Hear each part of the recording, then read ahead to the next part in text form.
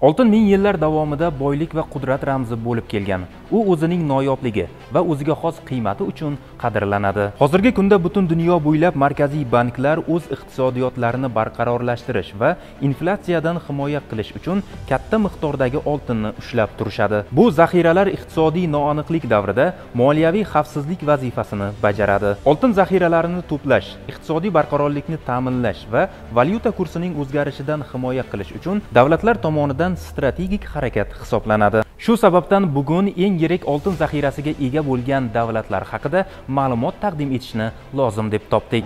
Amerika qo'shma shtatlari dunyodagi eng katta oltin zaxiralariga ega jami 8133 metrik tonna. Ushbu oltinning ko'p qismi kentukki shtatidagi fort noksda saqlanadi. Aqsh oltin zaxiralari 1970 yillardan beri nisbatan barqarorligicha qolmoqda. Bu esa mamlakatning iqtisodiy qudrati va barqarorligini aks ettiradi. Ushbu zaxiralarning qiymati 400 480 milliard dollardan oshadi. Bu esa uni mamlakat uchun muhim boylikka aylantirgan. Oltin zaxiralari bo'yicha germaniya dunyoda ikkinchi o'rinda turadi. Mamlakatning bu bo'yicha ko'rsatkichi 3355 metrik tonnani tashkil etadi. Germaniya oltinining katta qismi frankfurtda saqlanadi. Mamlakatning oltin zaxiralari taxminan 198 milliard dollarga baholanadi. Italiya 2452 tonna oltin zaxirasiga ega va bu ko'rsatkich bo'yicha dunyoda 3-o'rinni egallaydi. Mamlakatning oltin zaxiralari taxminan 145 milliard dollarga baholangan. Iqtisodiy qiyinchiliklarga qaramay Italiya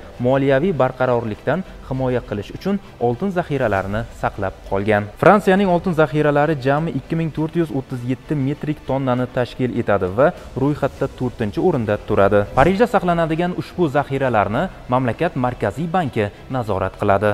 Fransiyaning oltin zaxiralari taxminan 144 milliard dollarga baholangan. Rossiya 2299 metrik tonna oltinga ega va u oltin zaxiralari bo'yicha 5-o'rinni egallaydi. Rossiya Markaziy banki so'nggi 10 yil ichida oltin zaxiralarini faol ravishda oshirib, har yili sezilarli miqdorda sotib oldi. Rossiyaning oltin zaxiralari taxminan 136 milliard dollarga baholanmoqda. Ushbu oltinning asosiy qismi mamlakat ichida saqlanadi.